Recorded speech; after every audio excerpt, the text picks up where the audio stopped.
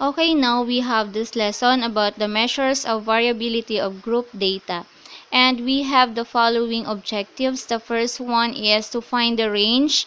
The second one is to find the variance. And the third one is to find the standard deviation. Okay, so let's have the problem number one or the table one, the scores of selected grade 7 students in a 25 item test. So we're going to find the range, the variance, and the standard deviation. And these are the following data. Okay, we're going to complete this table to find the range, the variance, and the standard deviation. On the first column, we have the given scores. We have 23 to 25, 20 to 22, 17 to 19, 14 to 16, 11 to 13, 8 to 10.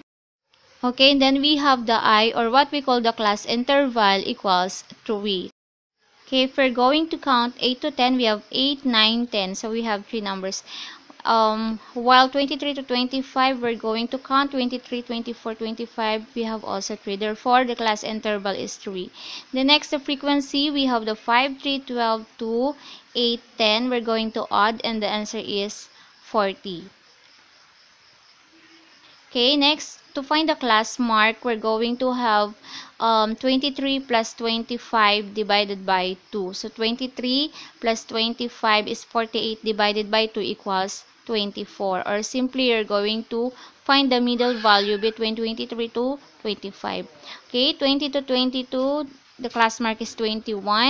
The class mark of 17 to 19 is 18, 14 to 16 is 15, 11 to 13 is 12, and 8 to 10 is 9. Okay, the next column is f of x. So, meaning we're going to multiply the frequency and the class mark. So, we have now the first one, 5 times 24 equals 120. And then 3 times 21 is 63. 12 times 18 is 216. 2 times 15 equals 30. And 8 times 12 equals 96. 10 times 9 equals 90. Then we're going to add 120 plus 63 plus 216 plus 30 plus 96 plus 90 equals 615. Okay, for the next column, we're going to subtract um, the mean from the class mark. So, we need the mean first before we uh, proceed. And this is how to find the mean or the bar x. So we have the var x equals the summation of f of x all over the summation of f, where f is what we call the frequency and x is the class mark. Okay, the value of the summation of f f of x is 615, while the summation of f is 40. So all we have to do is to substitute the value of the f of x in f. So we have now 615 over 40.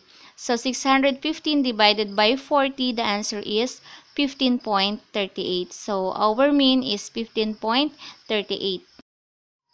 Again, we're going to use our mean which is 15.38. Okay, so we have the column, the x minus the bar x.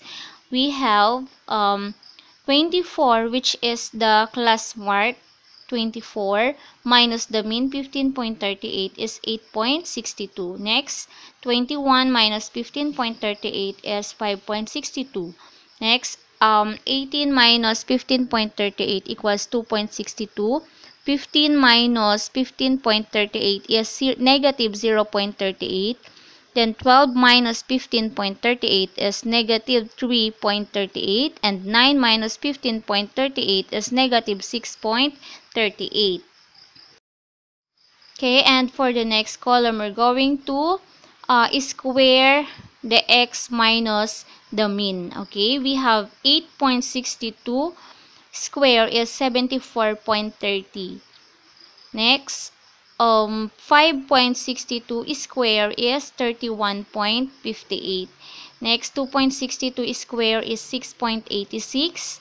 And negative 0.38 square is 0.14. Next, negative 3.38 square is 11.42 because negative multiplied by negative is positive. Then next, we have, negative 6.38 square is 40.70. And for the next one, we're going to multiply the frequency times the x minus the bar x or the mean square. So we have 5 times 74.35 is the frequency. And then 5 times 74.30 is 371.5. Okay, next we have um, the frequency 3 times 31.58 is 94.74. Then the next one, the frequency 12 times 8 uh, 6.86 is 82.32 and the frequency 2 times 0.14 equals 0.28 and then 8 times 11.42 equals 91.36 and 10 times 40.70 equals 407 therefore the summation of the frequency multiplied by the x minus the mean square is 1047.2. Okay, now we have the measures of variability, which is the range. Now we're going to find the range of the data. Uh, it is equal to the upper class boundary of the highest interval minus um, the lower class boundary of the lowest interval. Now we consider the following scores. We Okay, now we have 8 to 10, 11 to 13, 14 to 16, 17 to 19, 20 to 22, 23 to 25. So, the highest score is 25 and the lower score is 8. Or the upper limit is 25, the lower limit is 8. Okay, so again to find the range, we're going to have the upper limit which is 25 plus 0.5 minus the lower limit which is 8 minus 0.5 and then it is equal to 25 plus 0.5 is 25.5 minus 8 minus 0.5 is 7.5 therefore we have 25 minus 5 minus 7.5 is 18 therefore our range is 18 okay so we have another measures of variability which is the variance of group data. And this is the symbol of variance. Okay and we have the formula it is equal to the summation of f times x minus the mean square all over the summation of f minus 1 okay so where f is what we call the class frequency x is class mark bar x is class mean. Summation of f is total number of frequency. Okay and then we have the following um, value, we have the summation of f times the square of the x minus the bar x equals 1047.2 and the summation of f is 14 and we're going to substitute this value. So we have 1047.2 all over 40 minus 1 therefore the variance is 1047.2 divided by 39 equals um 26.85. So again, our variance is 26.85.